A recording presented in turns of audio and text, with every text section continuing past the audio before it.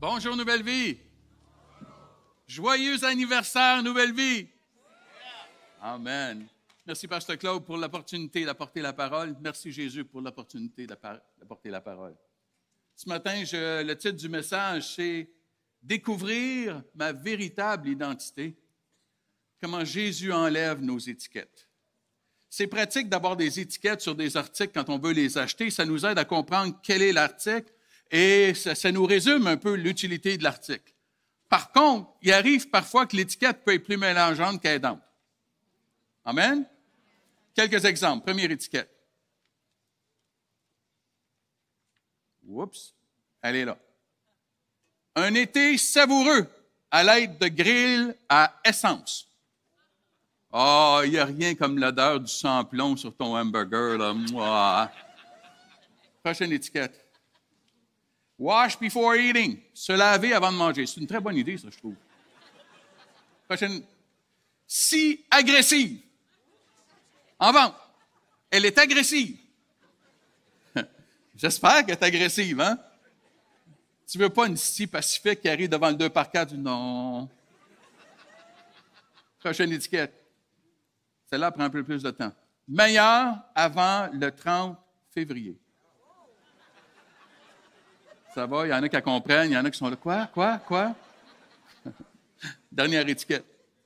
Rona t'offre de t'aider dans tes projets. Mais ce que j'aime, c'est à la toute fin, à la base, à la fin, ça dit recevez des mises à jour par SMS sur votre enlèvement. Ah! Service complet. Combien voudrait recevoir un SMS juste avant leur enlèvement? Amen? Le temps de te repentir, de te C'est une chose d'apposer une étiquette sur quelque chose, sur un objet. Mais c'est autre chose quand on l'applique à un être humain. La question qu'on peut se poser, c'est pourquoi on le fait? Souvent, on veut mettre une étiquette sur quelqu'un pour éviter la complexité de l'être humain et de simplifier nos différences. On balaie d'un revers de la main avec une étiquette. On aime classifier pour avoir le sentiment de comprendre l'autre. Ça peut être des étiquettes basées sur notre race, ça peut être basé sur notre culture, sur notre religion. Ça peut être des étiquettes linguistiques de la langue qu'on parle. Ça peut être une étiquette politique sur le parti sur lequel on, favorise. Ça peut être euh, une étiquette à partir de ma position sociale ou ma position académique. Ça peut même être des habitudes que nous avons qui vont nous apposer une étiquette. Mais souvent, ces étiquettes sont très, très, très personnelles et parfois sont très douloureuses parce qu'elles nous mettent dans une boîte qui nous met devant une description incomplète de qui on est vraiment. Et souvent, l'étiquette va être apposée en lien avec une faiblesse, une blessure, une défaillance, une expérience, voire même une simple différence. On va nous apposer une étiquette. L'apôtre Thomas a vécu ce concept alors qu'on lui a imposé, l'étiquette, de Thomas le douteux. Thomas le douteux. Et c'est même devenu une expression. Il y a une expression à son nom de dire faire son Thomas. Et faire son Thomas veut dire, signifie ne croire que ce que l'on voit et bien sûr ne pas avoir confiance en quelqu'un. Imagine-toi qu'il y a une expression qui a été créée à ton nom. Pauvre Thomas. On y a mis l'étiquette. On maintient l'étiquette. Peut-être tu es dans le doute ce matin, comme Thomas. Peut-être tu as des doutes ce matin. Mais pire, peut-être qu'on t'a posé une étiquette, que ce soit dans ta famille, dans ton arrière-plan, dans ta communauté, dans ton entourage. Une étiquette qui peut être très douloureuse. Une étiquette, un terme qu'on a utilisé envers toi pour se moquer de toi, pour t'écraser, pour t'abaisser étiquette de rejet, voire même une étiquette pour dégrader l'être humain, dégrader la personne, te dégrader. Ou peut-être que c'est toi-même qui, à travers tes expériences, les messages que tu as entendus, tu t'es imposé une étiquette à toi-même. Dans ton discours intérieur, ce discours qui est caché, que nous avons envers nous-mêmes. Ce discours qui parfois va utiliser des termes, va utiliser des mots, va utiliser une façon de se regarder qu'on n'oserait jamais dire à voix haute à quelqu'un d'autre. Comme si c'était plus acceptable quand c'est envers nous-mêmes. Ce qui n'est pas le cas. Et on devient captif de cette image, de cette identité, de cette étiquette qu'on maintient en nous-mêmes. Mais au travers le témoignage de Thomas, j'aimerais t'aider à comprendre d'où vient ton étiquette ce matin. J'aimerais t'aider à avoir l'humilité de ne pas mettre des étiquettes aux autres et voir comment Jésus est venu enlever l'étiquette de Thomas et retrouver sa vraie identité. Jésus veut venir enlever les étiquettes et rétablir notre véritable identité ce matin. D'où est venue cette étiquette pour Thomas? Verset 24 à 25 nous dit, Thomas, appelé Didyme, l'un des douze, n'était pas avec eux lorsque Jésus vint. Les autres disciples lui dirent donc, nous avons vu le Seigneur. Mais il leur dit, si je ne vois pas dans ses mains la marque des clous, si je ne mets pas mon doigt à la place des clous et si je ne mets ma main dans son côté, je ne croirai point. Pourquoi Thomas a douté? C'est parce qu'il n'était pas là. Il était simplement pas. C'est important de se souvenir que Thomas est un des douze apôtres. dans Jean chapitre 11, verset 16, ça dit, sur ce, Thomas, appelé dixième, dit aux autres disciples, allons nous aussi afin de mourir avec lui. Thomas était un disciple engagé avec Jésus. Il était même prêt à aller mourir avec Jésus à Jérusalem. Mais au jour de la résurrection, alors que Jésus apparaît aux disciples, Thomas n'est pas là. Il n'est pas témoin de cette apparition de Jésus. Ce n'est pas de la mauvaise volonté de la part de Thomas. Il est juste pas là. Il est juste pas là. Et il ne peut pas partager la même expérience avec les autres disciples. Il n'était pas là. Il n'a pas vécu la même expérience. Il n'a pas vécu la même chose. Et on peut se poser la question, mais pourquoi il n'était pas là? Pourquoi Thomas n'était pas avec eux? Et la réponse à cette question, c'est on ne le sait pas. Ça vous va comme réponse? On ne sait pas. Et parfois, on peut se poser la même question quand je suis envahi par mes étiquettes, quand je suis envahi par mon histoire, mes blessures, mes traumatismes, mes combats, mon histoire de vie. Et parfois, je peux tomber dans le même questionnement, mais pourquoi moi? Pourquoi est-ce que ça m'arrive à moi? Pourquoi ça m'est arrivé à moi? J'aimerais te suggérer ce matin que ça peut être une quête perdue de trouver la réponse au pourquoi. Ça peut être une quête perdue. La clé, la clé à comprendre, c'est que nous n'avons pas tous le même parcours. Nous n'avons pas tous le même parcours sur cette terre. Nous avons tous le même fil d'arrivée en Jésus. Amen. Mais on n'a pas tous la même case départ. On a tous le même fil d'arrivée mais on n'a pas toute la même case départ dans la vie. Pour certains, la case départ a été douloureuse. La case départ a été souffrante. Au milieu de la dysfonction familiale, au milieu de l'abus, au milieu de la négligence, au milieu des traumatismes, au milieu de la pauvreté à tout niveau, à tout niveau. Peut-être grandi dans un milieu qui était extrêmement dangereux, il y avait beaucoup de vulnérabilité, d'instabilité, c'était anxiogène. Le sentiment que tu en mode survie. Et dans tout ce climat, on t'a apposé une étiquette. Et tu vas trouver l'étiquette, bien souvent, qui va être enveloppée dans la honte. Dans la honte. Tu vois, l'enfant, cognitivement, est incapable de regarder ses parents et de dire Wow, mes parents, ils l'ont pas. mes parents, ouf, hein? Tu te dis comme père, là, ouh, il faudrait qu'il retourne à l'école, hein? Comme mère, là, oh boy, a des problèmes. L'enfant est incapable de faire cette réflexion-là. Et l'enfant va se dire le message suivant. C'est de ma faute. C'est de ma faute. Tu vois, il y a une grande différence entre la honte et la culpabilité. La culpabilité dit j'ai commis une erreur. Et la Bible dit que nous sommes tous coupables. Tous ont péché et sont privés de la gloire de Dieu. On est tous coupables. Ah, mais si je confesse mon péché, il est fidèle et juste pour me pardonner. Mais la honte, ce n'est pas que j'ai commis une erreur. La honte, c'est que je suis une erreur. Regarde ce que je produis autour de moi. Regarde le traitement que j'ai reçu. Regarde la réaction de mes parents. Regarde comment on m'a traité. Regarde les étiquettes qu'on m'a mis. C'est moi qui n'est pas correct. Et c'est ça la honte. Et la parole de Dieu dit absolument pas. Ma valeur n'est pas déterminée par mes étiquettes. Ma valeur n'est pas déterminée par mes étiquettes. Comment on peut entrer donc dans ce processus de, de retrouver, de restaurer mon identité? Et pour certains ici, c'est même difficile de croire qu'un jour tu pourrais t'en sortir. C'est tellement ancré, enraciné profondément en toi que c'est difficile de penser qu'un jour tu pourrais t'en sortir. Ta valeur n'est pas déterminée par ton étiquette. Oui, le processus va être différent. Dépendamment d'où tu pars, dépendamment de ta case départ, le processus va être différent pour toi. Parce qu'on ne part pas tous de la même case. Et pour certains, c'est un long pèlerinage. Tu ne pars pas de la même endroit que d'autres. C'est correct.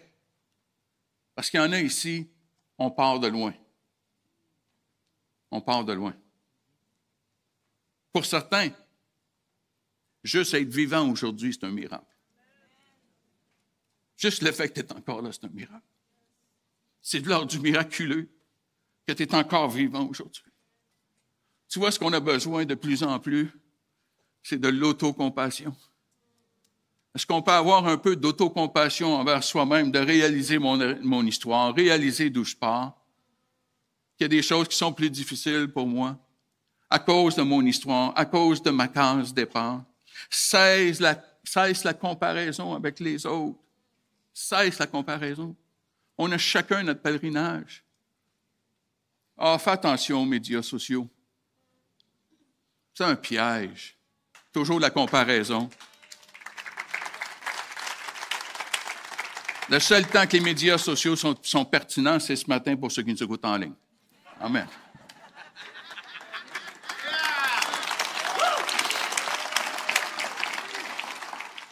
Tu as déjà remarqué la photo des gens qui mettent sur leur profil? Après tes rencontres en vrai?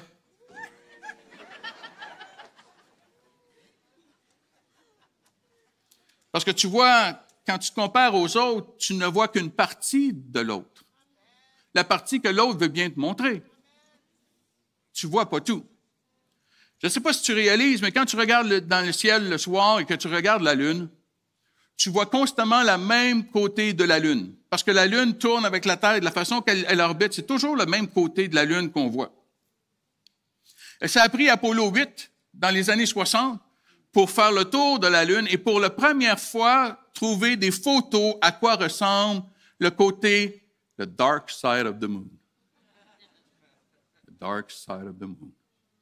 Bon, là, il y en a qui sont dans mes années 60, là. Écoute le son de ma voix, reviens à nouvelle vie en 2023, là. Il y en a qui sont partis, là, dans le dark side of the moon. Mais on a une photo de la, tu vois comment elle est accidentée?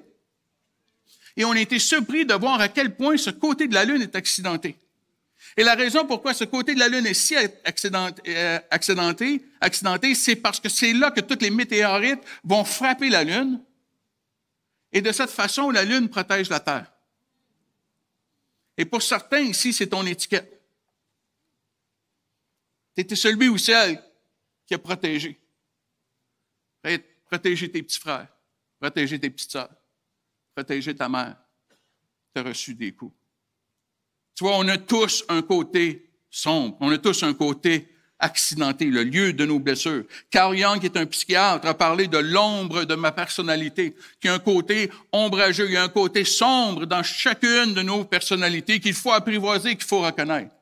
Si tu veux comprendre la théorie de M. Carl Young, tu as juste à aller écouter le film Le Hulk.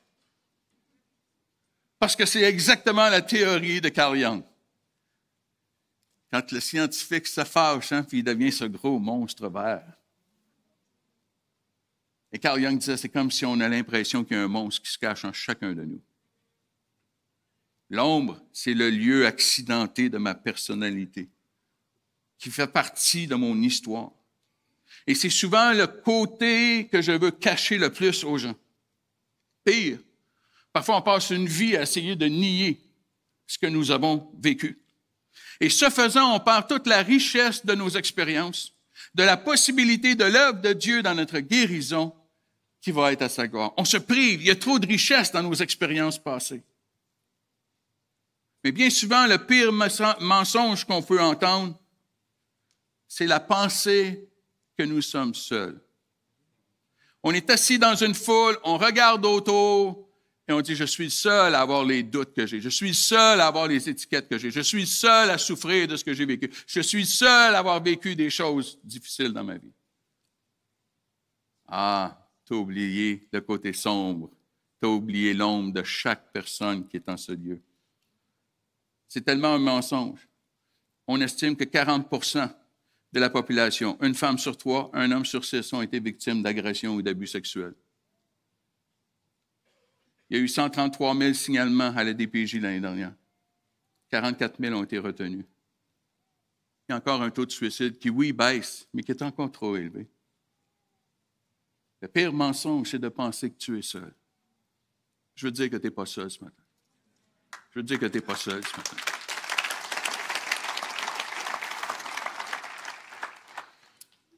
Et dans cette réalisation de ce processus, je suis pas seul, qui des fois en arrache, qui des fois j'ai l'impression je fais trois pas par en avant, quatre pas par en arrière, cinq pas par en avant, trois pas par en arrière. Si tu as fait ta décompte, tu as gagné un pas.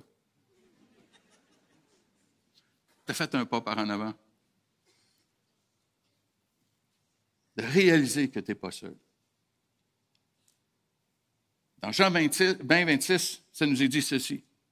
Huit jours après, les disciples de Jésus étaient de nouveau dans la maison et Thomas se trouvait avec eux. Thomas se trouvait avec eux huit jours plus tard. Je ne sais pas si tu t'es arrêté, ça me, ça me fascinait parce que je me suis imaginé comment Thomas a vécu ces huit jours-là. Connaissant mon tempérament, si j'avais été Thomas, je pense que j'aurais été tanné. Il n'arrête pas de parler de la résurrection de Jésus. Il n'arrête pas de parler qu'ils ont vu. Ils sont-tu tannants avec leur histoire, eux autres? Huit jours. Huit jours qui entend les témoignages, mais lui, il ne partage pas, il l'a pas vécu. Mais en même temps, huit jours après, Thomas est encore là. Thomas, il est encore là. Vois-tu sa résilience? Vois-tu sa persévérance? Il reste là. Il n'a pas vécu ce que les autres ont vécu. Son cheminement, il est différent, mais il reste là. Et pour certains, ici, malgré tout, tu es encore là. Malgré tout, tu es encore dans l'Église. Malgré tout, tu t'accroches à Dieu. Malgré tout, tu persévères. Mais ce qui me frappe, c'est l'amour des disciples pour Thomas. Je suis tellement béni par l'amour des disciples envers Thomas qu'ils l'ont gardé avec eux. Ils l'ont pas rejeté. Ils ont gardé Thomas avec eux. Eux qui, quelque temps auparavant, si on se souvient l'histoire, euh, se demandaient, hein, la compétition était prise entre les disciples, qui est le plus grand dans le royaume, hein, puis on jouait du coude pour savoir qui va être assis à la droite, qui va être assis à, la, gauche de Jésus, hein, on jouait du coude un peu. Malgré ce que Jésus avait fait en eux, ils ont gardé le douteux avec eux. Ils l'ont gardé. Parce qu'ils ont eu l'humilité d'admettre qu'avant que Jésus se présente, eux aussi, c'était des douteux. Eux aussi avaient peur. Eux aussi étaient cachés. Eux aussi étaient remplis de confusion et de doute. Ils se sont souvenus de leur démarche, de leurs doutes, de leurs défis. Et ont accueilli Thomas parmi eux. Parce qu'ils comprenaient. Ils pouvaient s'identifier aux souffrances de Thomas. Ils avaient déjà compris ce que Saint Augustin était pour écrire des siècles plus tard. Ils avaient compris que l'Église est appelée à être un hôpital spirituel pour les pécheurs et non pas un musée pour les saints.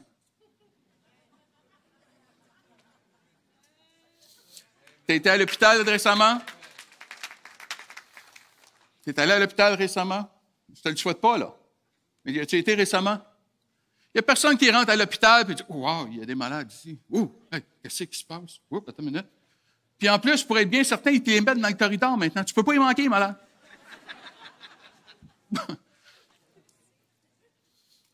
Mais parfois, on rentre dans l'Église. On est, on est surpris.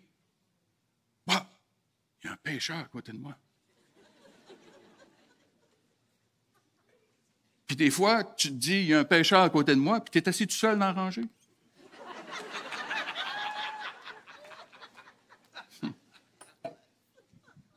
Non, les disciples avaient compris. Il fallait être là pour prendre soin. Peux-tu t'identifier aux souffrances des autres ce matin? Ah, tu n'as peut-être pas vécu la même chose que d'autres.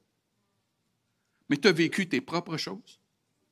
Est-ce que tu peux comprendre? Est-ce que tu peux avoir l'humilité d'admettre tes propres défis, tes propres difficultés? Que c'est pas vrai qu'on est toujours à flotter sur un nuage, que parfois on est sur la terre, et si bas au milieu, dans la vallée parfois. La souffrance, nous aussi. Nous aussi, c'est pas juste les autres, nous aussi. Est-ce qu'on peut avoir cette humilité-là? La citation de Robin Williams, une histoire tragique en elle-même, a dit ceci. Ce sont les personnes qui ont souffert qui font de leur mieux pour rendre les autres heureux. Parce qu'ils savent sur ce que signifie se sentir mal et ils ne veulent pas que quelqu'un d'autre se sente ainsi parce qu'ils ont compris la souffrance. Madame Lita Basset, qui est une psychothérapeute, est une théologienne, elle enseigne à l'Université de Genève et dans les soins pastoraux a écrit ceci. Nous constatons dans son livre euh, Moi je ne juge personne.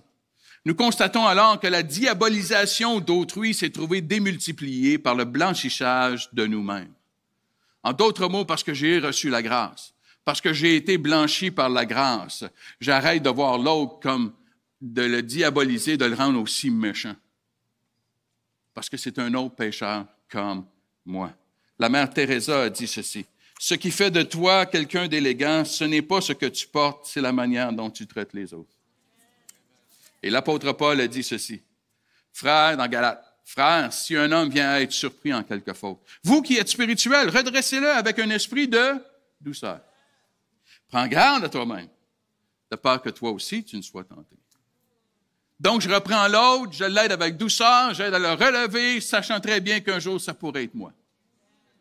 J'ai cette humilité qu'un jour, ça pourrait être moi. C'est moi qui pourrais avoir besoin d'aide.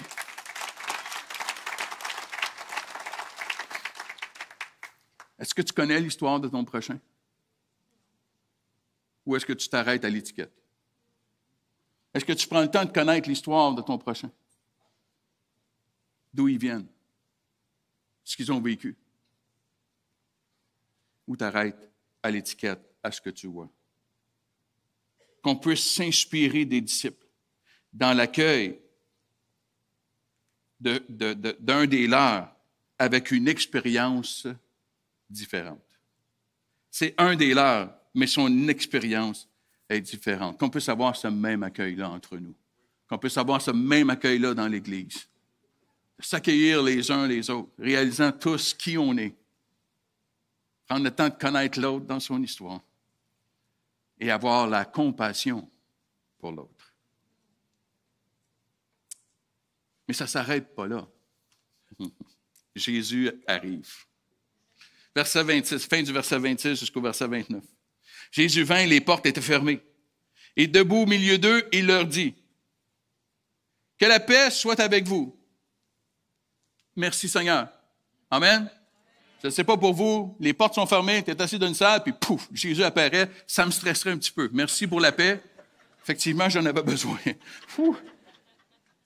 Puis il dit à Thomas, Avance ici ton doigt, regarde mes mains, avance aussi ta main et mets-les dans mon côté et ne sois pas incrédule, mais crois. Et Thomas lui répondit, mon Seigneur et mon Dieu. Et Jésus lui dit, parce que tu m'as vu, tu as cru. Heureux ceux qui n'ont pas vu et qui ont cru. Après huit jours, quand Jésus s'approche de Thomas, il va directement dans son étiquette. Il va directement dans son doute. Il va directement dans la source de sa blessure. Directement. Et il dit touche, touche. Et tout est dans le ton de la voix. Parfois, certains pensent que Jésus dit, ah ouais, Thomas, touche! Je, ah ouais, touche J, là, tu vas-tu croire? Non. Quand tu connais la personne, tu sais que c'est pas comme ça que Jésus a parlé à Thomas. Jésus a dit à Thomas, viens Thomas, viens, viens. Vas-y, touche. Vas-y, touche. Je comprends ton besoin, Thomas. Je comprends ton besoin, Thomas. Je comprends ta blessure, Thomas. Je comprends ton besoin. Touche. Viens. Tu as besoin de toucher? Viens, touche. Vas-y, Thomas. Je comprends ta blessure. Et c'est ce que Jésus veut faire avec toi. Il veut aller à la source de ta blessure. Il veut aller à la source pour aller arracher la racine. Il veut aller à la source de ta souffrance, à la source de ton étiquette. Il veut aller en profondeur, là où tu as vécu ce que tu as vécu, pour aller l'enlever. Pour aller l'enlever. C'est ce qu'il veut faire avec chacun de nous. Il est venu pour guérir les cœurs brisés. Il n'est pas venu pour juste les soulager. Il est venu pour les guérir. Je ne voudrais pas avoir des problèmes cardiaques et avoir un cardiologue qui me dit, ben, prends ces pilules-là, là, puis ça va t'aider à pas ressentir la douleur. Non, non, non. Allez, on ouvre, on opère, là. On opère. C'est ce que Jésus veut faire. C'est ce que Jésus veut faire. Il va aller en profondeur. Dan Allender, dans son livre, L'enfance déchirée, un livre qui parle de comment survivre aux abus sexuels. Dan Allender est psychologue chrétien lui-même victime d'abus sexuels dans son enfance. Il va dire que la première étape dans le cheminement de la guérison, c'est de voir et d'admettre honnêtement, franchement, ce que j'ai vécu. Aussi douloureux que cela peut être. Mais c'est là qu'est la guérison. C'est là qu'est la guérison. C'est d'aller directement là où j'ai été blessé pour qu'on puisse l'enlever complètement. Pas nier, pas rejeter notre passé, c'est trop riche. C'est trop riche notre passé. C'est trop riche notre histoire. Et notre histoire, même si elle a pu être souffrante, même si elle a pu être douloureuse, même si elle a été des traumatismes, même si elle a été des abus, avec la grâce de Dieu, il y a une œuvre qui peut se transformer. Parce que ça nous dit dans la parole de Dieu que tout concourt au bien de celui qui aime Dieu. Tout concourt au bien. C'est pas que tout est bien. C'est pas que tout est bien. C'est pas que tout est banal. Non, non, non. Il y a des choses qui sont mal.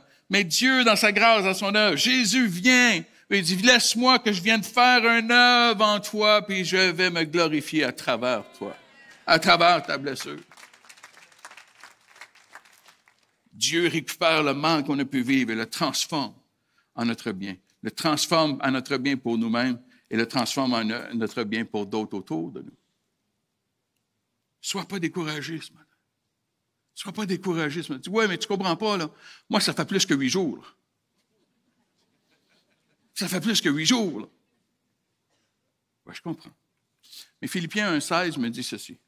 Je suis persuadé que celui qui a commencé en vous cette bonne œuvre la rendra parfaite pour le jour de Jésus-Christ. Vois-tu qu'il y a un processus? Hmm. Ah, j'aimerais ça te dire, tout se règle comme ça.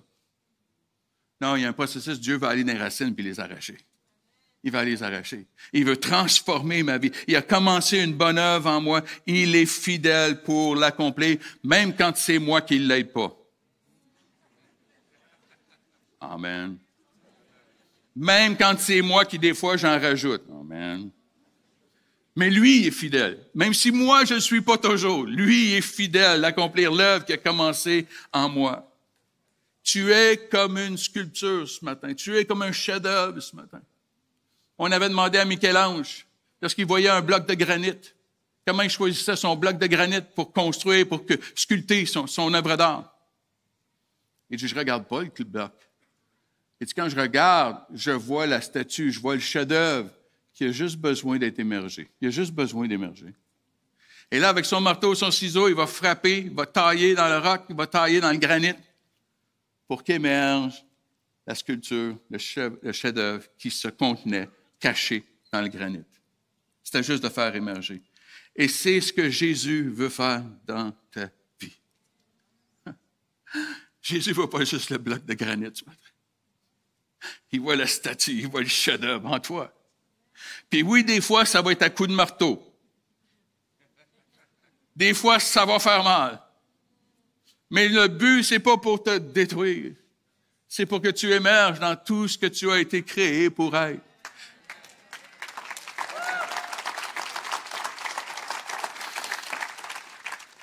Et de réaliser pleinement, comme le psaume 139 a dit. David dit, je te loue, éternel, car je suis une créature merveilleuse et mon âme le reconnaît. Tout mon être le reconnaît. On s'entend que David n'était pas parfait. On s'entend qu'il avait fait des gaffes. On s'entend que le Seigneur a utilisé beaucoup de marteaux avec lui. Hein? Mais il a reconnu son identité. Je suis une créature merveilleuse. Et c'est l'intention de Dieu dans ta vie. Marc 2, verset 17 dit, ce que Jésus ayant entendu, il leur dit, ce ne sont pas ceux qui se portent bien qui ont besoin d'un médecin, mais les malades. Je ne suis pas venu appeler des justes, mais des pécheurs. Ah. Il est venu nous appeler. Des pécheurs. Chacun de nous. La clé, c'est d'admettre qui je suis, mon besoin, tout comme la femme adultère a fait. Elle était coupable, elle savait qu'elle était coupable, mais elle reste à côté de Jésus. Elle admet son imperfection, elle admet sa culpabilité, elle l'admet. C'est tout ce que Jésus demande. J'ai besoin et tu as besoin encore aujourd'hui, peu importe ta case départ, de la grâce de Jésus. C'est par la grâce que vous êtes sauvés. Ah, ça, on y croit le jour de notre conversion. Hein? Ah oui, le jour où je me suis converti, ah, c'était sa grâce. Je ne veux pas t'insulter ce matin. Je sais que vous avez de l'air tout du bon monde. Là. Mais c'est encore par la grâce ce matin que vous êtes sauvés. C'est encore par la grâce. On a encore besoin de sa grâce et son œuvre qu'il fait en chacun de nous. Ce pardon qui me libère, qui me guérit, qui me restaure dans ma véritable identité et m'enlève mes étiquettes. Tu vois, la réalité est, c'est triste d'avoir laissé l'étiquette à Thomas. C'est très triste. Parce que Jésus lui avait enlevé. Jésus lui avait enlevé.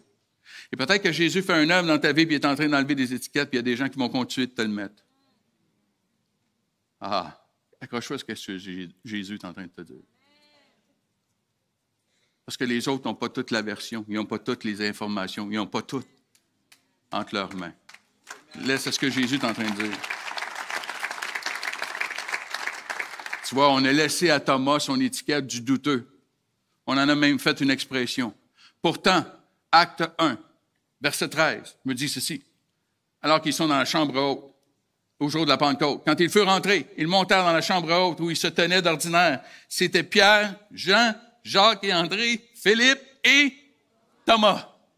Thomas, il est là, il n'est plus le douteux. Thomas, il est là au jour de la Pentecôte. Thomas, il est là dans la chambre haute, il n'est plus le douteux. Parce que Jésus avait restauré sa véritable identité. Est-ce qu'on t'a collé une étiquette?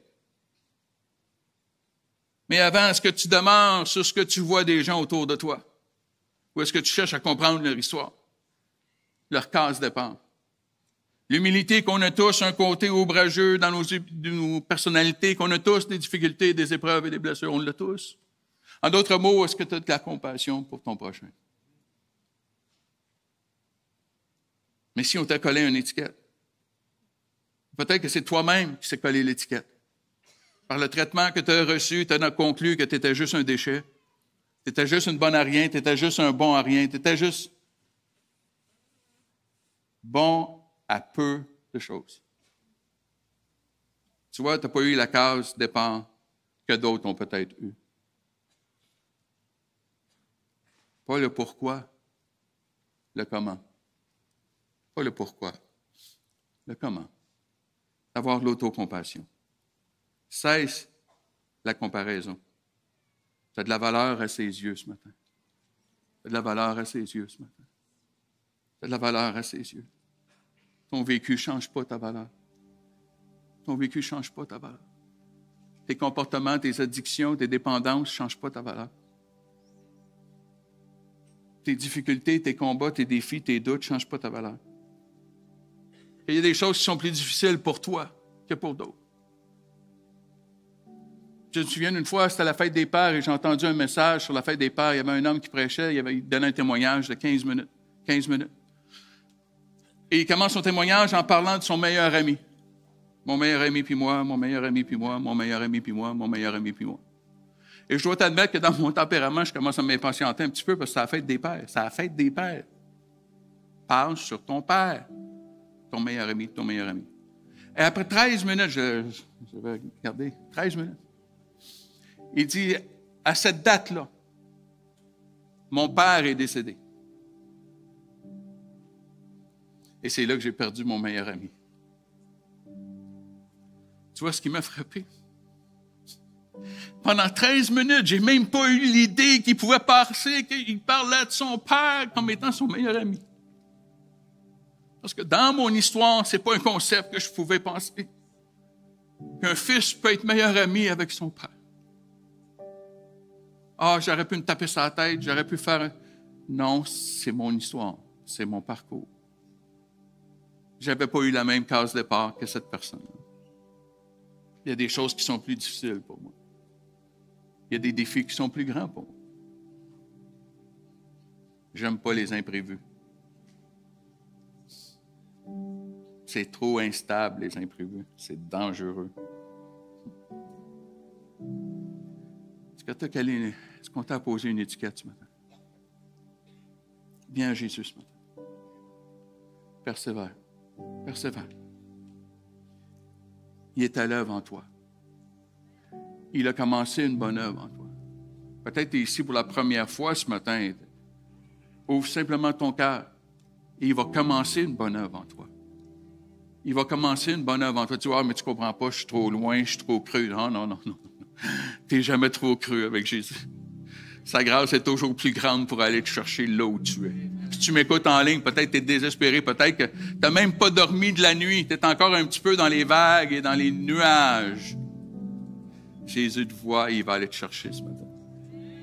Il va entendre les moindres désirs de ton cœur ce matin. Et commencer une bonne œuvre en toi. Et il est fidèle pour l'accomplir. Il est fidèle pour l'accomplir.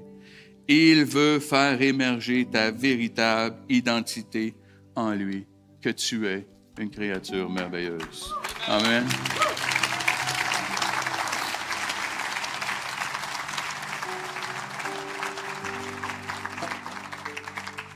Est-ce qu'on peut juste courber nos têtes un instant? Tu es ici ce matin, tu, tu es en mesure de t'identifier à l'étiquette. On t'a posé des étiquettes. Peut-être c'est dans ton propre discours intérieur, la façon que tu te traites, les termes que tu utilises envers toi. Peut-être que tu es simplement dans du doute ce matin. Mais dans ta souffrance, dans ta douleur, dans ton vécu, il y a des choses qui sont restées collées à toi. J'aimerais vraiment prier pour toi ce matin. Et comme signe que tu veux que je prie pour toi ce matin, j'aimerais que tu te lèves là où tu es. Juste te lever à ta place. Juste te lever à ta place. On m'a collé des étiquettes, pasteur. On m'a collé des étiquettes. Il y a des étiquettes que je porte encore. Juste te lever là où tu es. Là où tu es. Sans aucune gêne, sans aucune honte. Juste de te lever là où tu es. Pasteur, ma case départ, je pars de loin. Je pars de loin. Mais je suis encore là. Et on t'a collé des étiquettes juste prendre un instant parce qu'il y en a pour qui là, c'est, douloureux parce que c'est l'admission que. Ah, ouais, j'ai été blessé. C'est l'admission, c'est Jésus qui va dire Viens, touche, ça va direct dans ta blessure ce matin. On t'a mis une étiquette Si tu es assis ce matin, j'aimerais que tu lèves la tête un instant puis de voir qu'il y a des gens qui sont debout autour de toi. Et ce que j'aimerais, c'est que tu ailles entourer toutes les personnes qui sont debout. Juste aller les entourer. Juste mettre ta main sur son épaule. Tu dis, je sais pas qu'est-ce que je vais dire, je sais pas quoi prier. Non, t'as pas besoin. Juste mettre ta main sur l'épaule de la personne. Dis, t'es pas tout seul. T'es pas tout seul. Partout en ce lieu, que ceux qui sont debout, qu'il y ait des gens qui mettent leurs mains autour d'eux, qui mettent leurs mains sur leurs épaules. Juste transmettre le message. T'es pas seul ce matin. T'es pas tout seul ce matin. T'es pas tout seul ce matin. Seigneur Jésus, je te prie pour chaque personne qui s'est levée. Tu vois les étiquettes, je te prie que tu commences et tu continues l'œuvre que tu as commencée en eux et d'enlever les étiquettes qui nous ont été apposées. Seigneur, qu'on retrouve notre identité en toi. et que ce matin, tu nous invites dans notre doute, dans notre blessure, dans notre souffrance. Tu viens nous dire, touche, touche, viens, viens. Je comprends ta blessure, je comprends ton doute, je comprends ta souffrance. Viens, viens à moi, viens à moi. Seigneur, viens commencer, viens ajouter, viens continuer l'œuvre de guérison dans les cœurs brisés en ce lieu. Et Seigneur, que nous pouvons trouver en ce lieu un lieu de sécurité. Un lieu de sécurité où on va être soutenu et aidé et non pas jugé et condamné, même quand on est dans le doute. Seigneur, je te prie pour ceux qui n'ont même pas eu la force de se lever, tellement ils sont dans la honte. Viens les rencontrer maintenant. Viens les rencontrer maintenant. Dis, je vois ton cœur, je vois ta sincérité. Touche ceux qui sont en ligne, qui nous regardent en ligne ce matin par ton Saint-Esprit, viens les toucher là où ils sont. Que tu les vois eux aussi. Seigneur, puisses-tu te glorifier à travers chacune de nos vies pour ta gloire. En ton saint et précieux nom, Jésus. Tout le monde en dit Amen et Amen et Amen. Est-ce qu'on peut se lever ensemble?